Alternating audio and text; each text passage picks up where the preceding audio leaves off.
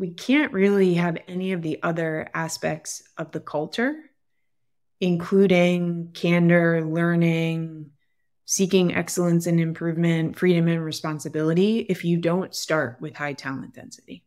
And in some ways, it's very reflective of Reed Hastings as founder of Netflix. So when he founded Netflix and grew the company over time, it was with a belief that there could be a, a different approach to building a company that would make it a place that people thrived in and loved being and would feel different than other places, both in the quality of that talent density, but even more importantly, like the excellence and the outcomes, and that that's where people would derive a lot of sense of fulfillment. So it it's very deeply seated at Netflix from its original days. And in order to do that, you have to really hold yourself to a lot of stuff that doesn't feel like natural human behavior. Today, my guest is Elizabeth Stone. Elizabeth is Chief Technology Officer at Netflix, and as far as I can tell, the first economist to ever be named CTO at a Fortune 500 company. Prior to this role, Elizabeth was Vice President of Data and Insights. Before Netflix, she was Vice President of Science at Lyft, COO at Nuna, a trader at Merrill Lynch, and an economist at Analysis Group. In our conversation, we cover a lot of ground. We talk about how an economics background has helped Elizabeth in her career and why she expects to see more economists rise in the ranks of tech companies. She shares some of her secret sauce for rising so quickly at so many companies so consistently. We delve into Netflix's very unique culture of high talent density, radical candor, and freedom and responsibility. We also talk about the structure that Netflix has for their data and user research teams, which she believes is a part of Netflix's secret to success. We also get into what biking and triathlons have taught Elizabeth about life and how she brings that into her work. And so much more. A huge thank you to Ali Rao for introducing me to Elizabeth. If you enjoy this podcast, don't forget to subscribe and follow this podcast in your favorite podcasting app or YouTube. This helps tremendously, and I really appreciate it. With that, I bring you Elizabeth Stone after a short word from our sponsors. This episode is brought to you by Vanta.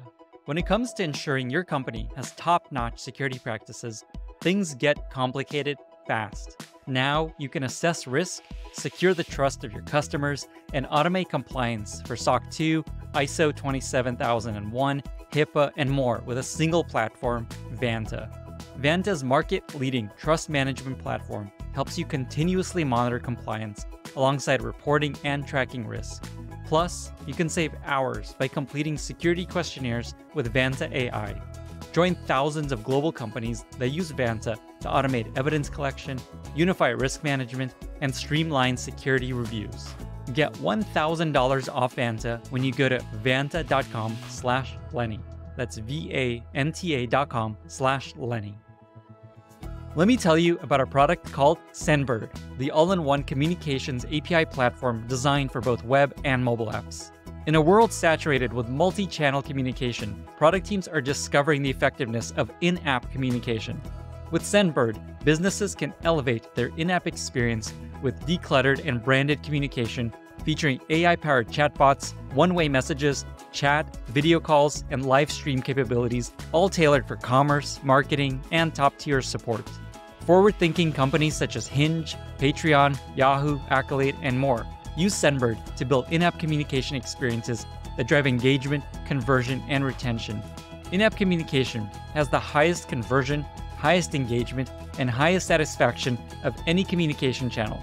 And when it comes to investing in this channel, trust Sendbird to take your in app communication experience to the next level.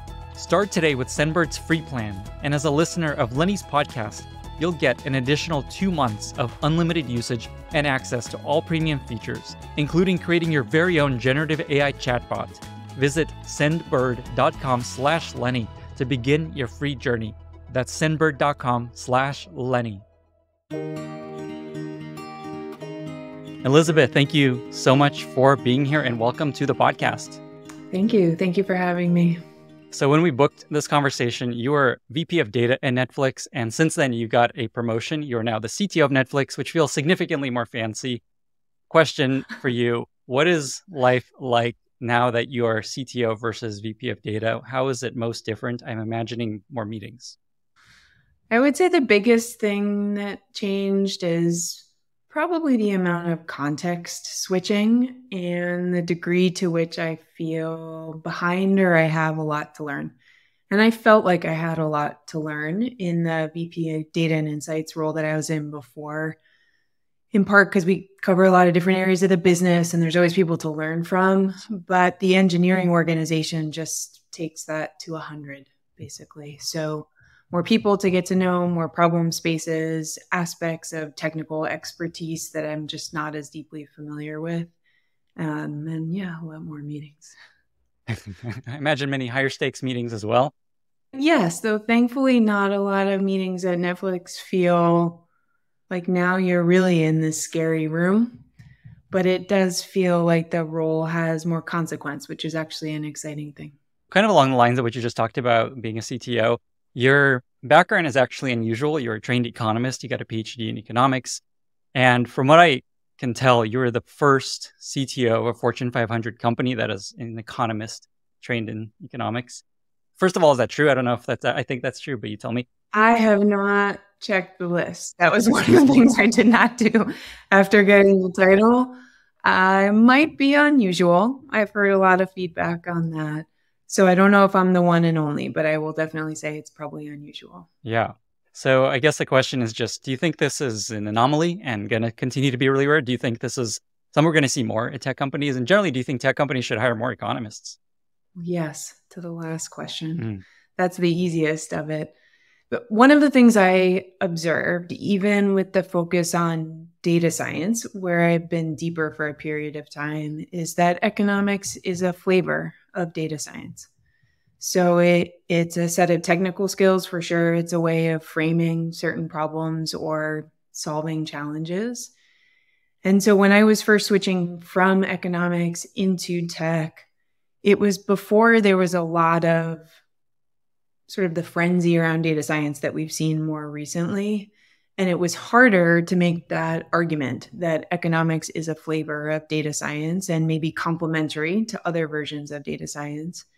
And I feel more strongly about that now that I've seen it up close. And so maybe by extension, I would say, just like I think data science can be helpful for a lot of different problems that you might not immediately think, oh, this is something that we should bring data to. I think that economics is generally valuable for a lot of different challenges. And it's a useful perspective to add to things, especially in a business context, and especially in how we want to simplify problems in a way that makes them feel tractable. So I feel like that's been a benefit to me to have had that type of formal training and then bring that perspective or way of thinking to different roles and so I, I don't know that many people at Netflix think of me as an economist, but I, I find it comes out in the way I think about things. So to the extent that that's true generally, I think it's useful in a lot of companies. And I feel like even since I made the switch towards tech, I've seen it become much, much more common to think about the value of having economists on teams. Just to pull on that thread a little bit more, is there something very tactical or concrete that you can share that you find helpful with that background that you found helpful in your career?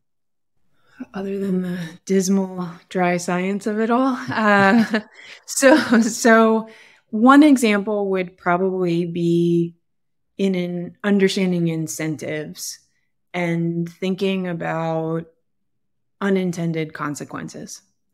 And I think that that is true both in terms of internal leadership. So, being part of a management team that's thinking about how do we clarify priorities or motivate a company or define the problems we want to solve. And then part of it is more externally oriented. How do we want to think about what Netflix is to consumers and how we want to think about competition? And there can be a rational way of thought, which is one version of economics of like, shouldn't rational, intelligent people behave in the following way.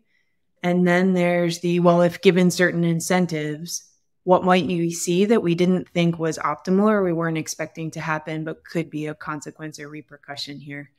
And so I think that that type of framing, I don't know if it's unique to economics in a way, you know, because it has elements of psychology to it as well um, and kind of planning ahead has become really useful for thinking through kind of cause and effect. So that has come up in a lot of different spaces in Netflix and in other roles I've been in. I was looking at your LinkedIn and looking at your career over the years, and it seems like you've had a meteoric rise at four different companies, and I'll just walk through them briefly. So, your first job, you went from associate to vice president in three years.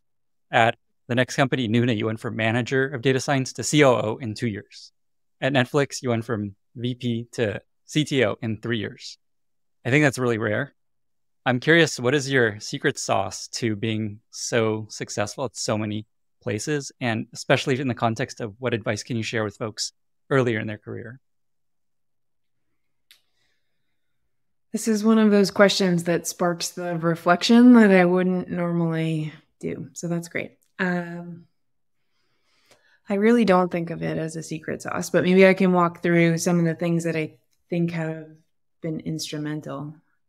As you listed that out, it's like it sounds like the two to three year point is the real sweet spot. Mm-hmm. Um, so then maybe there's something about that timeline. But I, I think some things almost feel trite in how I would say them, which is I'm very dedicated to the work and to the teams I'm part of.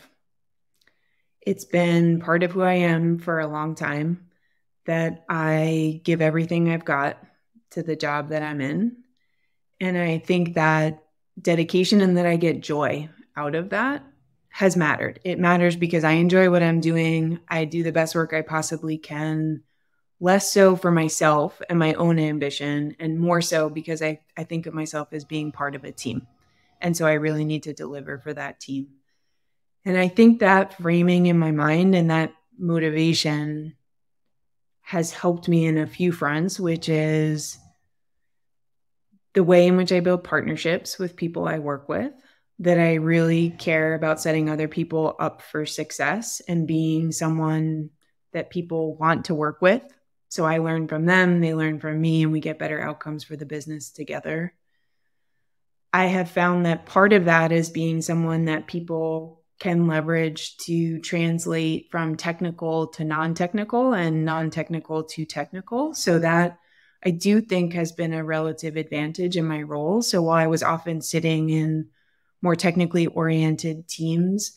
A lot of the advancement in my career was to roles that required that type of communication fluency. And it grew out of being able to partner with people across the businesses who didn't necessarily have the same background, but where we needed to really connect spaces so that we could be more effective. And, and that was something that I, I think really the training for that came from analysis group where it was a very quantitative set of work that we had to find a way to communicate to judges and juries for economic cases. So that was something that was trained in other roles, and I think I've been able to leverage. I'm a relatively introverted only child, so I observe a lot, uh, which means that I learn from other people. Uh, and in each of these roles, I have tried really hard to watch what other people are doing, think about like how could I learn something from them, whether it's the thing that I want to be able to do myself or it's the thing that I think, oh, that doesn't quite fit or feel authentic with my style. And I do a lot of that introspection. So I, I have been surrounded by amazing people in all these roles. And I have a feeling that I learned a lot by osmosis and observation, and then have been able to leverage that to be stronger in the roles I was sitting in. So I took a few notes here. So a few things you mentioned is just like dedication, essentially working really hard and taking your work seriously, being part of a team and setting other people up for success, translating complex tech language and problems to non-tech people, and then being really good at observing and learning from other people around you. Is there an example or two that you could share of some of these to make it even more concrete for people? Like dedication, is that just like working many hours? Uh, being part of a team, anything along those lines to make to share a story maybe to help people yeah. put this into practice. No, and it's a good clarification because the dedication piece really isn't about long working hours. It's more about how much I care about excellence, I guess. So giving it my best in those situations. And that might not mean that I work really wild hours or I work weekends or I'm the one who's willing to sacrifice the vacation. I've actually tried to avoid setting that as an expectation, but more that I hold myself to a very high standard. So, an example would be, especially as I've gotten more senior in roles, there can be an expectation that it's okay for other people to wait on me. So, whether it's like the timing for a meeting or providing input on something or reviewing a document or following through on something I said that I was going to do. And I really try to avoid that, which means that if someone sends me something, I try to be very responsive about it. If I know that I said I'm going to do something, I follow through on it in the timeline that I said I was going to do. If I have a meeting, I try to be on time to that meeting. And those are all flavors of dedication to the work that show up in, oh, it seems like Elizabeth works really hard, but the motivation factor is other people are relying on me and I want to show up for them. And so that's when I say dedication, and it's related to the second point around showing up well for the team. Those would all be examples of I feel urgency in responding to people and doing high quality work. For the other parts of technical to non technical, I think a great example is actually a very timely one at Netflix, which is we are making strides to offer live content types. So, live events, live TV shows. We announced this week that we're going to be hosting WWE starting later this year and hmm. early next year, 2025. That is easier said than done. I know that there's a lot of entertainment companies that have live content, but Netflix has really been in the streaming content business. So live content is something new for us.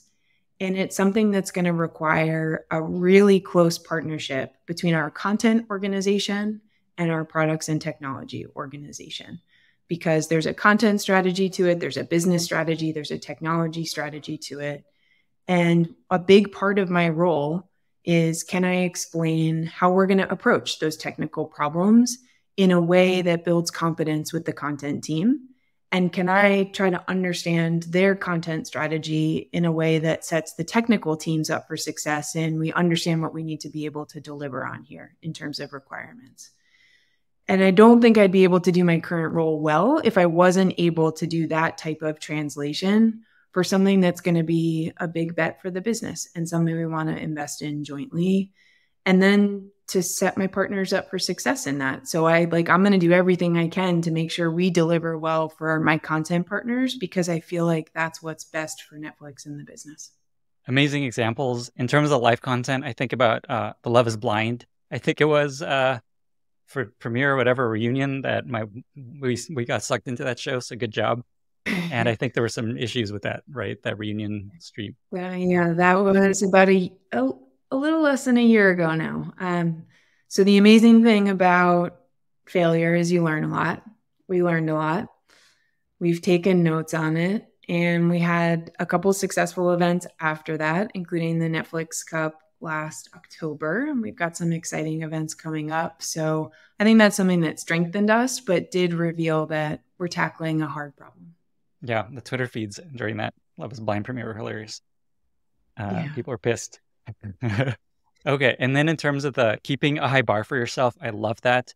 I think about uh, a quote that um, there's a VC, Ann Miura-Ko at Floodgate, and she did this interview with Tim Ferriss, and she shared that her dad always asked her, "Are you doing a world class job with this? Like, are you doing a world class job with your homework? Are you doing a world class job with your piano recital?"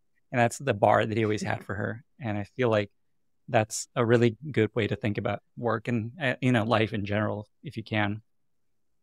Yeah. Um, my mother used to describe to me probably still does though it required more repeating when i was younger that the last 5% is the 5% mm. that really mattered And so it it is that framing of the thing, the extra effort you put into something to make it world class or to make it excellent. And so I do like to push myself that way. And I I hope it sets a good example for other people too. And it's very consistent with especially the company cultures that I tend to thrive in, where that's the general expectation of the culture. So you don't feel like you're doing it alone. Cause then I think you can start to feel frustrated by that. I know that there, this is a big part of Netflix culture, and I want to get into it. But before that, I'm curious just what that looks like with people that report to you. How do you help them level up in this skill of having a really high bar? And an example I'll give as you think about it, maybe an example is the way I described this to my PMs was you want to have this aura that you've got this. That if you give Lenny something, he's got this. He's going to follow up. He's going to close the loop. He's going to get it done. If he can't get it done, he'll tell me. I feel like this thread will not disappear. He won't drop this ball. Is there anything that you've learned as a good way to help someone learn this kind of skill and understand why this is so important? It shows up for the people who report to me is one part example setting. So if I don't do it, why would they do it? And I treat that very seriously that we should all be held to the same standards. And as a second thing, I give feedback when it's not up to the standard. So I think some one of the things I've observed especially with people on my teams is that the expectations aren't always clear and you can't assume that they're clear if you don't share them. And when something's not meeting expectations or really showing up as excellence, I think it's a combination of both giving the feedback on that and being direct about it and being specific about what would it take to get this to the bar that I'm expecting or to show up in the way that I'm expecting. And then the third and probably most important thing is help them fill that gap. So that would mean like let's take an example. Certainly has happened frequently in many jobs. Like a document is okay, it's not great. It's not going to be easy for people to follow. It, it's not as crisp as it could be. There's things that would strengthen it. I can both give the feedback on that to make sure, like, yes, it's going to take another round of iteration. Yes, we're going to have to work another week on this and not, you know, not be done with it, but pushing people to get there and then jumping into the document and helping. So I, I feel very strongly about, and that's kind of what I mean by setting an example of like, let's work on this together. And then through that, help people up level themselves. So the next time around, they kind of, they know the expectations and they've had help kind of getting there in the past. So that's probably happened a thousand times in my career where I, I jump in with both feet because something needs to be better. And I think the teams are better for it afterwards, or I hope they are. I think that's such a good framework just to kind of mirror back what you said. Set expectations that the bar is going to be really high, and here's what I'm expecting from you. Give them very specific feedback on where the gap is, and then help them fill that gap. And I think a lot of people may feel this and hear this and are like, oh man, I, I don't want a manager that's like this high of an expectation person. And it just feels really stressful. But I've had these managers and I feel like they're that's when I've learned the most and leveled up the most. Is having someone that gave me had really high expectations and then helped me understand here's where you're not doing as well as you can. I know you can do better. Go back and work on this. Like, I know that sounds annoying, but I think in practice, it ends up helping you most in your career. I imagine you've seen a similar uh, result. I think so. I mean, you'd have to ask some of the people on my team. So I, I might look at it differently than references. they look at it yeah. it, it's a hard skill because it's not always easy to give feedback, especially if you feel like you know someone's put a lot of effort into something. And so I give a lot of thought to how I deliver that feedback so it feels like we're on the same team. Hmm. And I'm trying to help them be successful, not to help, you know, encourage failure.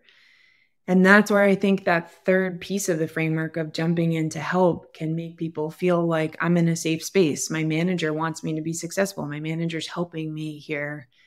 And I do often do that behind the scenes. So maybe that's another flavor of this, which is I don't do it live in the big meeting in front of all the people where the presentation doesn't go very well.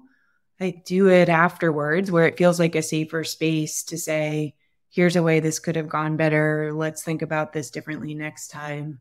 So it gives people, you know, a little grace, you know, and a little bit, a bit of an ability to absorb that feedback without feeling like it's kind of on a on a stage. Another thing someone may be feeling when they're hearing this is like, oh my God, this is going to take me so many hours to just get it to a place Elizabeth is happy with. And I know you said that this doesn't mean necessarily many hours. Do you have any advice or thoughts on just how to avoid like burnout and working all the time, but also keeping this really high bar and high expectations? It truly is not about time. I even found myself in a meeting earlier today saying, if we're clear on the objectives of something, it might be that the last 20% of polish on the document is a really bad use of time. So if we're going to come together to talk through like quarterly business review was the example. What were the highlights? What were the lowlights? What were the learnings from the quarter? Where are there places of misalignment? The reason we're doing the quarterly business review is to have a really candid conversation about how we think things are going, to have a debate about things where maybe we're stuck. It's not to have a perfectly polished document for that conversation. So, my feedback in that instance would be I would much rather have someone spend the time thinking about what's the conversation we really want to have? How do I tee that up? Not could I spend another 20 hours to make it look like everything's perfect in this document? And so I think in that sense, it's it's not just excellence like you wrote the perfect document. I should probably be careful to not use that as the only example, but instead we really got to the outcome we wanted to get to because we were thoughtful about it and we put a lot of energy and time and iteration into making sure we got to that outcome. And is this example an example where you gave someone feedback because they spent too much time on the polish? Or was this earlier? And think of the pyramid of this framework you kind of shared of set expectations, give specific feedback, help them fill the gap, and then do it in private. Is this like the expectation setting in this example, or is this like feedback you spend too much time on this? This is expectation setting. So, one of the things in my new role is that there's some practices that the team has had where they're trying to understand are we still going to have those practices? What's going to be the same versus different about those things and get an understanding of my expectations. So, it's great that people ask that question so that I can be clear about, oh, wait, if you're on the last 20% of this polishing the dock, I'd rather spend time over here. And here's how I would like the conversation to go so we all get something out of it instead of it feeling like it's just a leadership reviewer on my behalf. So this in this specific situation, it was setting expectations ahead of time so that we can set everyone up for success. Awesome. Okay, so we've kind of been talking around this, but this is an important part of the Netflix culture. So, just broadly, Netflix has a really special and unique culture. Even though it's been around for, I think, over 25 years now, it feels like the culture has come up many times. There's that initial culture deck that came out that kind of blew everyone's minds. There's a recent book, No Rules Rules, I think it's called. And it feels like Netflix has done a great job at maintaining its culture. And it feels to me there's kind of these three important elements, and maybe there's more. One is uh, very high talent density and a focus on high performers. Two is candor and being really direct. And then three is giving people freedom and responsibility and getting rid of useless processes like vacation time and things like that. So maybe just to dive into that first one of high talent density, which and high and this focus on high performance. I guess the question there is just like, how does this actually look? What does this look like at Netflix? And imagine part of it is hiring, part of it is performance reviews, and then just why is it so important? Why is this such a focus at Netflix? What is the what is what happens when you have such a high talent density? It's just so intrinsic to Netflix is as a company, and in some ways, it's very reflective of Reed Hastings as founder of Netflix. So when he founded Netflix and grew the company over time, it was with a belief that there could be a, a, different approach to building a company that would make it a place that people thrived in and loved being and would feel different than other places, both in the quality of that talent density, but even more importantly, like the excellence and the outcomes, and that that's where people would derive a lot of sense of fulfillment. So it it's very deeply seated at Netflix from its original days. And a big piece of that talent density is definitely hiring. So who are the people coming in and joining the team. But a lot of it is we can't really have any of the other aspects of the culture, including candor, learning, seeking excellence and improvement, freedom and responsibility, if you don't start with high talent density. And so, in some ways, that's a, it's not the end, it's the means to the end in what Reed and the rest of the leadership team has been trying to build. And so, in order to do that, you have to really hold yourself to a lot of stuff that doesn't feel like natural human behavior. And what I mean by that is giving the feedback. This gets into the second bucket. So, giving feedback, being candid, around your expectations when they're not being met, what could be better, and helping people improve, and be able to receive that type of feedback yourself in order to keep talent density high. Because no one comes to Netflix as a perfect human being and stays a perfect human being the whole time. We all have ways that we could grow and improve. And so, in order to keep that bar high, you have to be willing to have those types of very uncomfortable conversations it's an uncomfortable amount of candor and feedback in order to keep that bar high. And then the other piece of it is another thing that doesn't come naturally to humans, which is making a call in pretty timely fashion if someone's not able to meet the bar. And to say either, I don't think the role you're sitting in is the right role, or I don't think that Netflix is the right place for you. And to make that something that is part of best practice to get to a point where you could make that decision. And that's where we refer to the keepers test, which is really just a mental framing to make sure we hold ourselves accountable for this. Where if I'm asking myself the question, if if this person on my team came to me and said, I'm leaving today. I have a different opportunity and I would like to take it. Would I do everything I could to keep them at Netflix? If not, then I should be having that tough conversation about should you really be here? Are you in the right role? If I might be a little bit relieved if you said you were leaving. And the reason the keeper test and that question is useful is because no one wants to think that way. It's very hard to say to someone, I think this isn't the right fit. I think you should move on from the company so we have to introduce some of those reflections in order to encourage the behavior.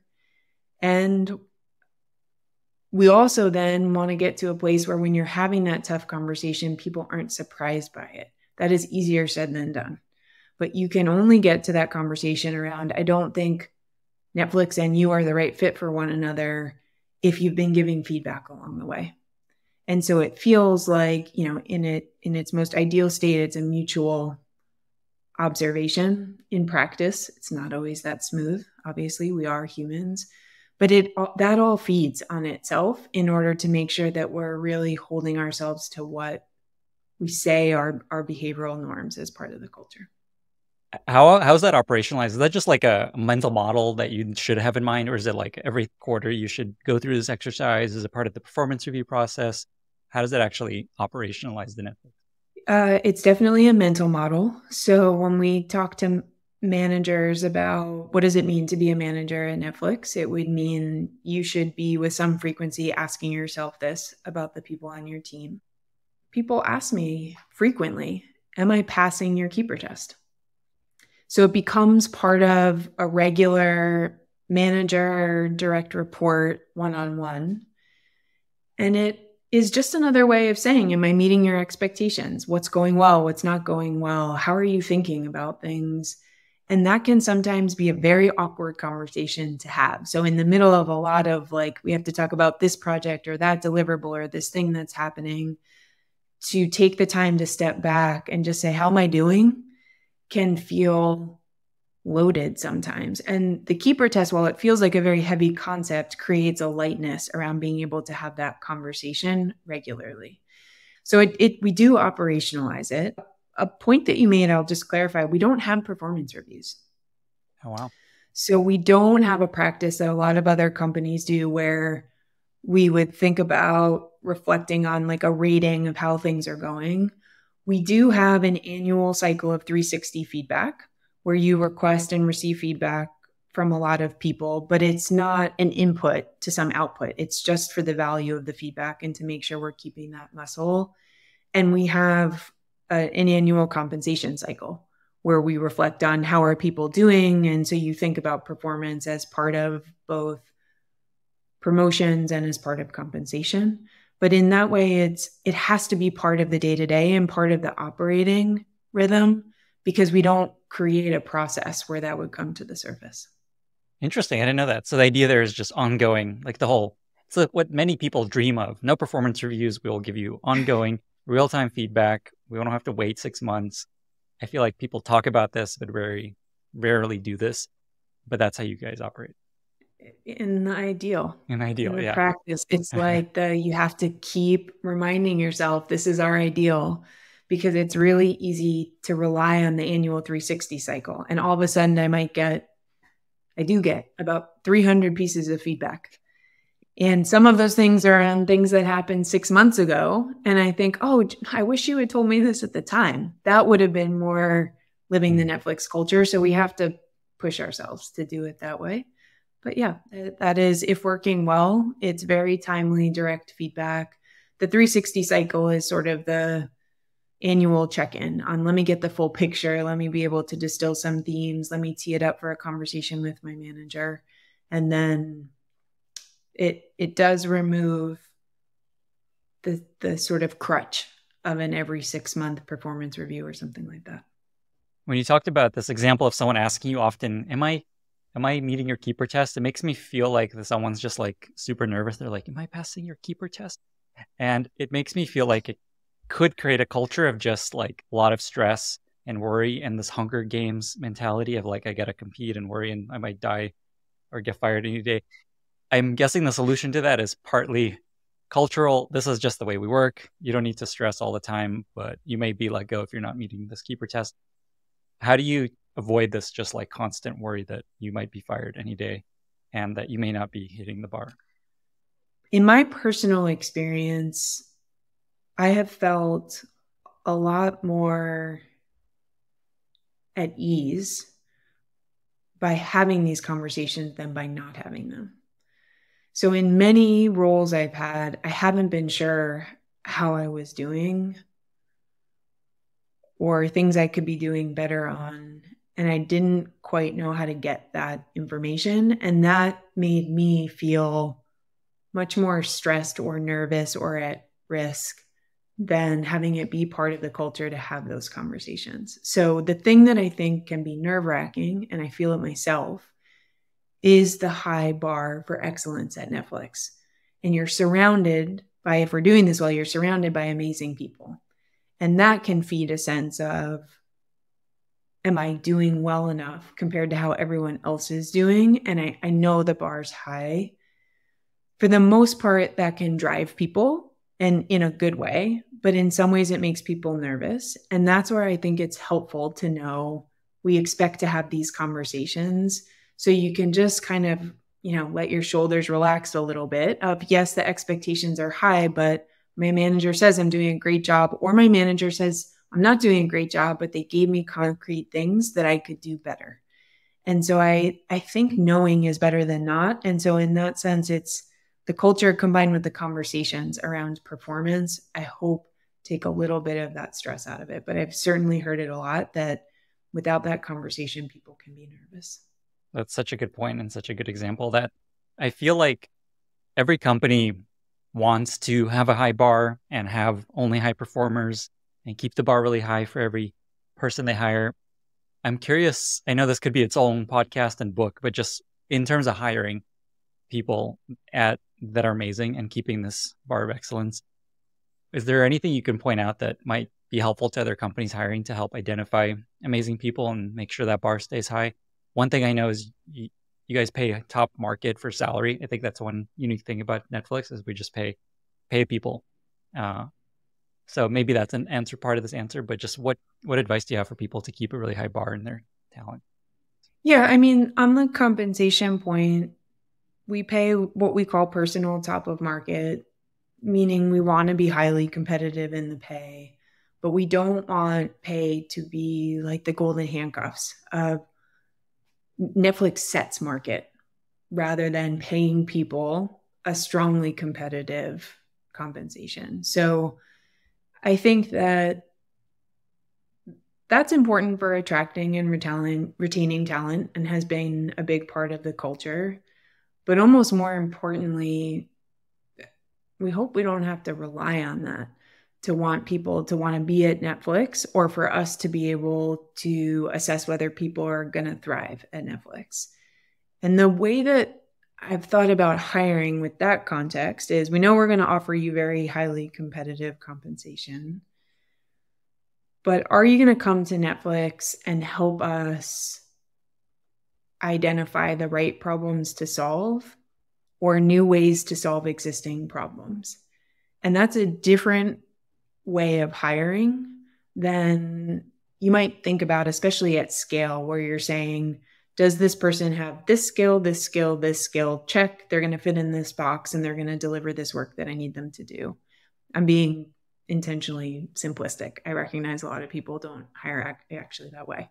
But at Netflix, we try really hard to say we're looking for the new perspective or the person who's actually going to make us stronger as a team.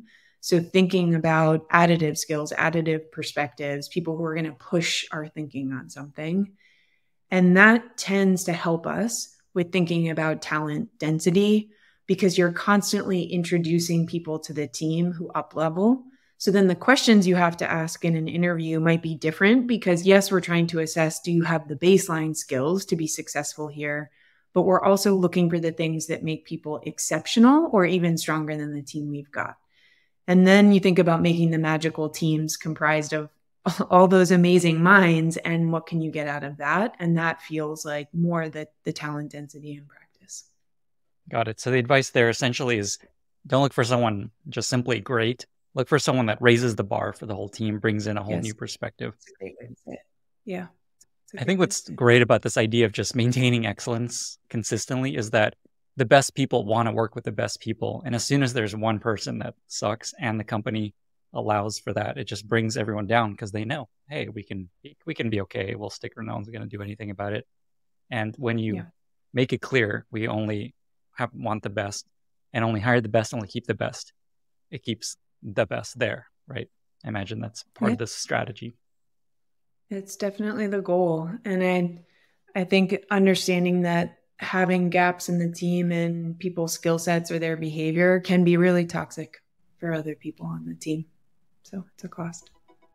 This episode is brought to you by Explo, a game changer for customer facing analytics and data reporting. Are your users craving more dashboards, reports, and analytics within your product? Are you tired of trying to build it yourself? As a product leader, you probably have these requests in your roadmap, but the struggle to prioritize them is real. Building analytics from scratch can be time consuming, expensive, and a really challenging process. Enter Explo Explo is a fully white labeled, embedded analytics solution designed entirely with your user in mind. Getting started is easy. Explo connects to any relational database or warehouse, and with its low code functionality, you can build and style dashboards in minutes. Once you're ready, simply embed the dashboard or report into your application with a tiny code snippet. The best part? Your end users can use Explo's AI features for their own report and dashboard generation, eliminating customer data requests for your support team. Build and embed a fully white labeled analytics experience in days. Try it for free at explo.co slash Lenny. That's E-X-P-L-O dot C-O slash Lenny. So I asked on Twitter what questions to ask you. And there's a great question that came in from Nan Yu. He's the head of product for Linear. And he asks, what practices does Netflix do that other companies should not attempt to do because their talent level is so much higher than other companies? That is freedom and responsibility in a nutshell. So let me explain that. Um, it's a good question, and it it's kind of related to what I was saying earlier. That talent density is a prerequisite for a lot of the other ways we operate. So if if we want to create a work environment where we are not prescriptive about how people solve problems or the scope of problems that they could tackle, assuming they're highly impactful for the business. And we don't have a lot of process around that work. So think about being able to make large innovations to our engineering systems or introducing new ways to think about metrics and experimentation. We get a lot of those things because we give people the freedom and the space to explore and question things and experiment in a way with solutions. And I, I think that that would be very hard, if not dangerous, if we didn't have a high talent density. It's really not a top down, do A, then B, then C. Even in how we go through some of our planning processes or thinking about how we think about priorities, there is a lot of room for contribution across all levels of the team. And that requires talent density. And then there's things like, you know, you have to have amazing people if you're not going to have really strict guardrails that would influence the consumer experience or business stakeholders experience. And we do give people a lot of responsibility on those things. So i think the the lack of process and prescriptiveness is all hinging on we've got amazing people who are smart, but even better, have strong judgment. This is kind of what you always hear from people giving founders advice is just hire amazing people, get out of their way and let them do their job, which is often not a successful experience. What are examples that come either things that came out of this freedom? I don't know, products or features or ideas that came out of this, or policies or processes you don't have that everyone else might have. So I know there's no vacation time there's like unlimited vacation time. If that, I, I, mm. assume, is that still a thing? Unlimited vacation time? Okay, cool. Yeah. All right. Uh, great. Uh, and then no performance reviews. You talked about that. So I guess in either direction, like, is there an example of something that came out of this freedom or some process that which surprised people that you don't have or a framework or system? We've been able to deliver, you know, speak to my own team around innovations in our content delivery network or innovations in encoding or innovations in discovery and personalization were not driven by some leader saying, I think this is a priority. They were driven in many cases by individual contributors who had great ideas for innovation.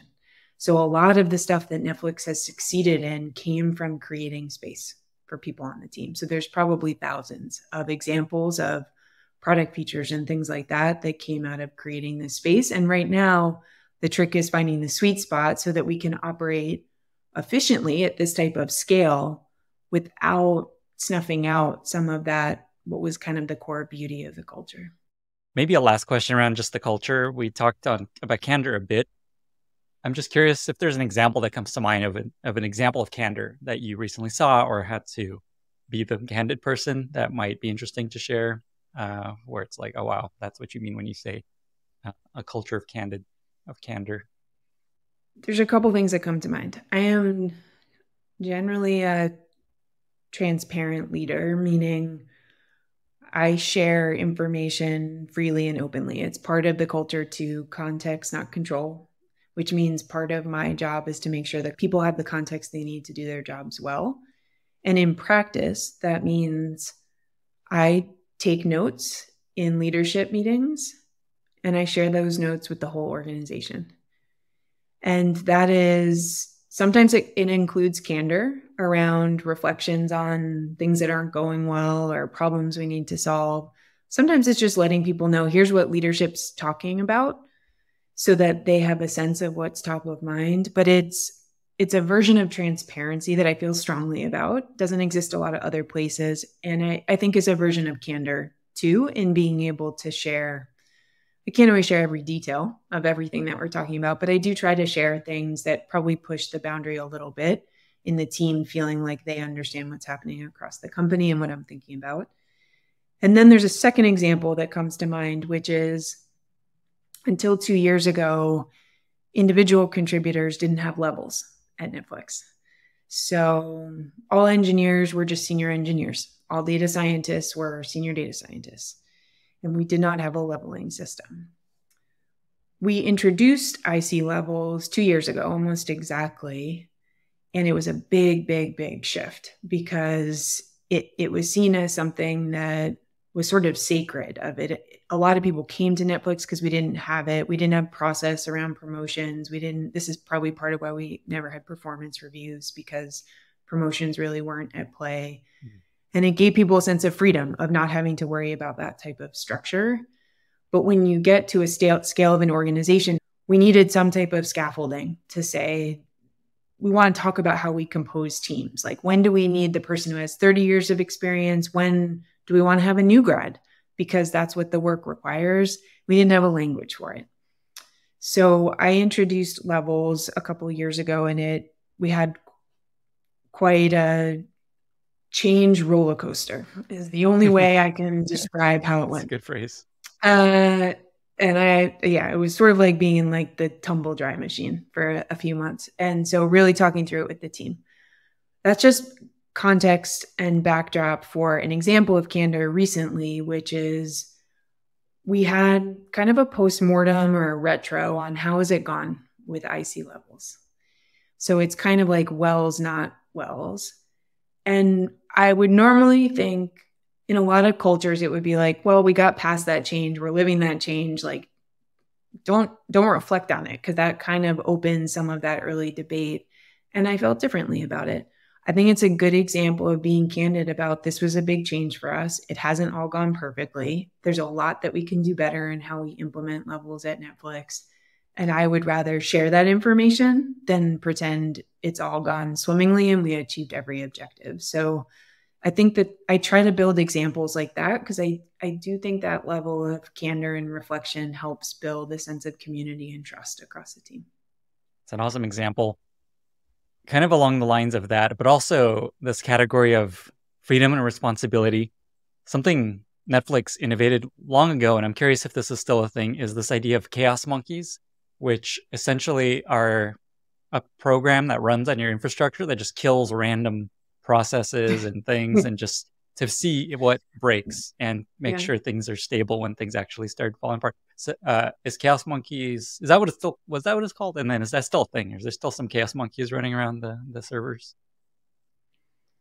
Not unbridled chaos monkeys, no. Okay, um, contains chaos. Uh, but no, we carry we carry too much responsibility. Mm. Speaking of freedom and responsibility for the member experience to inject pain. Though we do do a lot of experiments to test resilience. And that does probably mean injecting things that we're not quite sure whether A is better than B. And so that happens across engineering systems really at scale. But it it's not for pure chaos. It, it's for intentional learning. And so we can avoid making bigger mistakes. And then as we go into new efforts like cloud games, we have a beta that's out now. Live would be another example. We do try to come up with intentionally low profile examples where we can test the bounds of our systems in a way that's unlikely to damage the member experience but uh, that's less randomness, more by design. And so we're doing that in a few places that feels mostly like good engineering practice, so we can understand when when it's really showtime, and we're going to really test our systems. Will they be able to perform like we want them to? R.I.P. Chaos Monkey. Yeah. so, kind of along these lines of data, something that so data itself has always been at the heart of Netflix and my understanding is the way the data team and the insights team is structured has been one of the reasons Netflix has been so successful. And that's the team you led before you moved into this new role. Can you just talk about how these teams are structured and why this structure is so effective? Yeah, I certainly like to think of it as being special. It's unusual. I can explain why. So, at the scale of company that Netflix now is very often data oriented teams are embedded in other parts of the business. So it could either be they're embedded in a business line like ads or games, or they are organized more functionally, separating data engineers from data scientists, from analytics engineers, from consumer researchers. And we've resisted that and kept a centralized team that is both functionally diverse, so across all those types of functions that I just described, and works on nearly every area of the business from within the team. And I sort of understand why a lot of companies move away from this because it really does require basically extraordinary partnership that we would have people working on data problems that don't report into the teams that are relying on them. But the benefit we get is we get to think about our functional expertise. So, are we really world's best data engineers, world's best data scientists? And how do we continue to be ever better from a functional and technical perspective? It gives people better career paths because there's more mobility across the teams. It feels like a team that has a functional expertise with a lot of different problems to solve. And so I think it enables more cross pollination of ideas in a way. And it also allows us to be really objective. That is probably the most important thing that our job is not to tell the story that someone wants to hear with the data or to solve the problem that someone thinks is most important. It's for us to have our own perspective about things. And I think that that uplevels the whole organization because it means that we're able to be truth tellers or to be curious in a way that might not fit if we had a different organizational structure. We have to balance that with be a good partner, deliver on the things we agreed were priorities, be flexible with how we're spending our time, but it gives us agency and responsibility beyond that. And I feel like the team takes that very seriously. So I've seen examples of that in how we bring data to a lot of spaces, including how we partner with engineering on data related topics or how we partner with content that I'm not sure we would have gotten to if not for having that kernel that's sort of a center of excellence around it. And uh, it's data and insights. That was the team that you ran. Insights, is that describing user research or what is that a function actually? So, part of data and insights is a consumer insights team that mm-hmm. includes a lot of different flavors mm-hmm. of research, really. So, in some ways, consumer is even a misnomer because there's parts of the team that do internal research, for example, on tools and products for our studio productions. So, that's more of a, a user research oriented versus consumer. And then the parts of that team that are consumer oriented do things all the way from content screenings to make titles the best version of themselves before they're on the service to more traditional UX research to think about how can we deliver the best title discovery experience or how can we think about things that improve accessibility and then that team has a global remit. So there's also teams that are more local or regional expertise in understanding consumer needs and entertainment. So consumer insights and a team formerly known as, still kind of known as as a shorthand, data science and, and engineering combined together to create data and insights probably about two years ago. That's another piece that's unusual. It becomes truly a full stack data and research expertise and so we could tackle a problem like what's the right way to think about recommendations and how best to surface them in a way that combines attitudinal research, qualitative and quantitative, with behavioral research on more of the data science, data engineering, and analytics side. It's super cool because I think it's really rare that the what people think of as user research is within the data org. And I think that might be a solution to some of the backlash a lot of user research teams get where they're like, I don't know, what are you guys doing? All this anecdotal evidence. If it's under the same org, uh, I feel like that leads to a lot more credibility and uh, avoid this like, oh, data's telling me this thing. This user research team is telling me this thing. What should we do? Yeah, I, I mean, I, Consumer Insights was one of the newer teams for me. It, you know, it wasn't in my background to lead a team like that and not in my individual training but they they are critical for making sure we keep a consumer orientation, a member orientation on things. And I have loved to watch the teams collaborate on problems because it it's we talk about it as a superpower internally and combining those skill sets.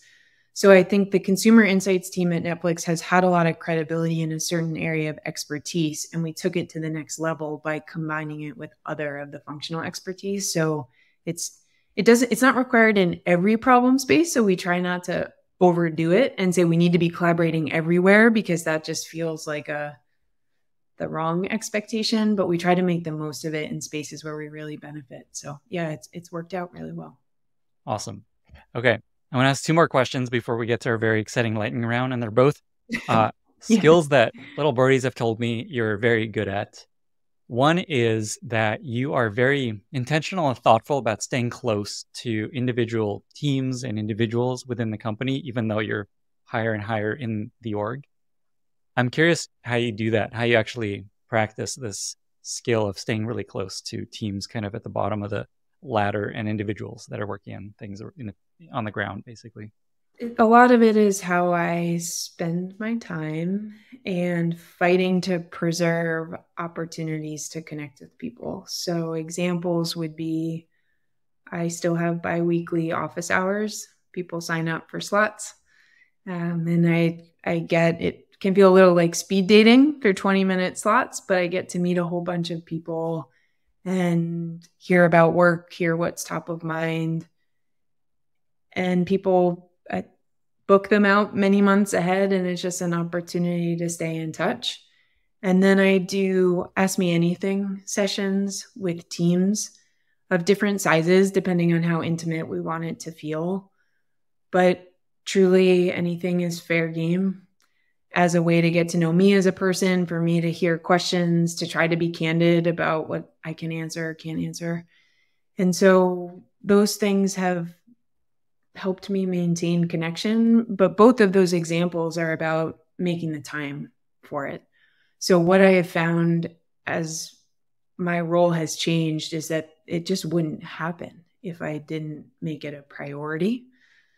And then through those types of sessions, I, I do think I become, or I hope to become more approachable. So people know you can send mm. me a Slack message, you can send me an email. Like I mentioned earlier, I'm going to respond to you as quickly as I can because I want to hold myself to that bar. And so that builds a flow of communication between me and the team that I really value. I don't think I would want to do my job if I didn't have hmm. those points of connection. So that helps too. And you also send that email to everyone after every leadership meeting. So they're like, oh, yeah, Elizabeth. Yeah. they hear from me. Yeah. Kind of related to this. Um, so we have a mutual friend. That's how we got connected, Ali Rao. Uh, she was a data scientist at Airbnb. Now she's at Uber. And she had a question that she wanted me to ask. And it's about uh, how good you are at being present. So her question is something you've, she's noticed about, something I've noticed about her is how 100% present she is no matter who she talks to, do you have any advice for people to get better at this? Because it's so hard in the day of email and iPhones and Slack. Her question is like, like when does she respond to stuff? If not, sometimes in meetings. I actually think I'm the most present when I'm having conversations like this one. And I I do preserve a lot of time to have one on one conversations where I'm genuinely curious about how someone's doing, how I can help them, what they're excited about. That's authentic. And so while my EA would probably cringe at saying I, I like to spend time doing a lot of those one on ones, it's it is relatively easier for me to say like the human connection is part of what I enjoy about this I think that's true for a lot of people in what we get out of work and life.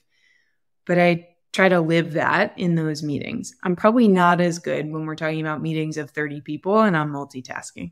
Hmm. Um, so I will admit to doing that for sure. But I, I think the one-on-one conversations I treat as being pretty sacred. And one of the things I've noticed that helps me continue to invest in that and maybe is helpful for other people is some of my greatest friends and connections, including people like Ali, are people I met along the way professionally. So I worked very closely with Ali's husband, Keith Henwood, at multiple places, um, both Analysis Group and at Lyft. And that means that it's created opportunities and it's been points of connection. And so you get back what you give, basically. Um, there are people in my life who are part of my life because I worked with them or because I crossed paths. And I like to think that if I can make a like a positive mark on them, you know, it'll come back and be a benefit at some point too. So I think to distill that is that I truly enjoy it. It's what I get out of especially work. And then it it's my community. And that's served me really well over time. And so I have given people advice of this is a small community. Think about what you're investing in other people because that will matter down the line for yourself too. And try to live that myself. Yeah, that's such good advice. There's kind of two things that come to mind there. One is treat people the way you want to be treated. Someone once said that, mm-hmm. maybe. And I think you come back to this a couple times this idea of just pay attention to what gives you energy and that you're good at and just almost double down on that. Just like make that more and more of a superpower. Yeah that last part resonates. It's been a big part of my personal and professional practice to reflect on how I'm feeling, what I'm excited about, what I'm enjoying. And I, I do think it helps me be more grounded, which maybe helps me be more present or helps me be a better manager or leader. That might be part of the secret sauce too, but it, it's part of my practice. I can't help but ask, is this like an actual practice? Do you do this on a regular basis or is this just something you think about like I should reflect back? I wish I was so advanced to say I, I meditate and I, I create all this structure. It's more that I I think I mentioned maybe I'm an introvert, so I do spend some time alone. That's how I recharge. And early mornings, especially people who know me, sometimes are horrified at the time of day I send emails. But early mornings are a quiet time for me where I do try to have a, a daily check in of just how are things going? Why am I feeling anxious? Why am I feeling excited? And it's kind of a muscle you build. So while I don't I don't write in a journal, I don't have a meditation practice. I do have a time of day when I I try to keep it protected from other things so that I can think for a second. Uh, what I think about there is Jeff Bezos has this approach in the morning. He just calls it he putters around. He has no meetings until I think 10 or something. He just wants to putter around, read the newspaper, see what's going on in email, which I'm trying to do. I really like that. That feels really good. I'm just going to putter around. I have no yeah. responsibilities in the morning. I like, I've never heard that. I'm going to adopt that, that language. Just puttering. just puttering, puttering.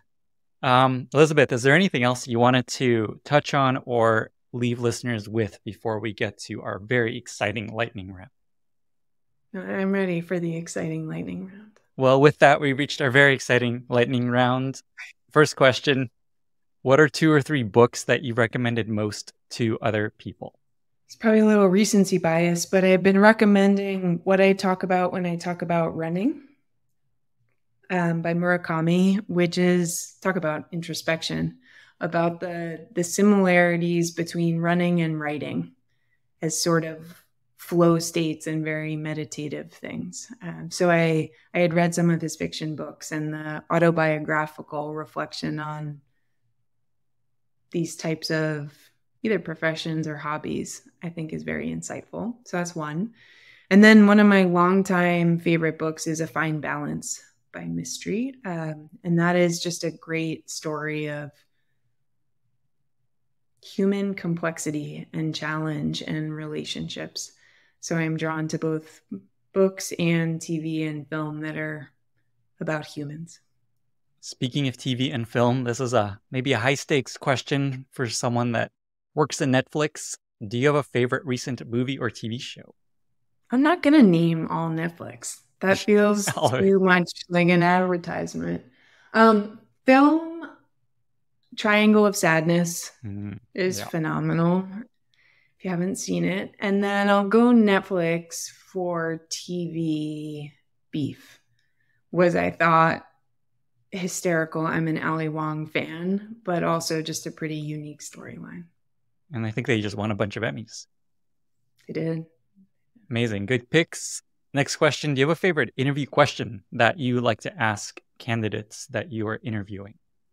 High talent density.